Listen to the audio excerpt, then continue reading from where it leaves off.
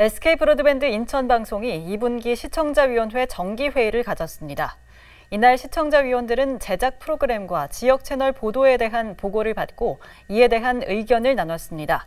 또 IPTV 수준의 고화질과 콘텐츠를 제공받을 수 있는 기술 중립성 전송 방식 서비스에 대한 내용을 보고받았습니다. 시청자 위원들은 앞으로도 지역 현안을 심층 보도하고 주민들이 참여할 수 있는 프로그램 제작과 선한 영향력 확대 등을 위해 노력해달라고 당부했습니다.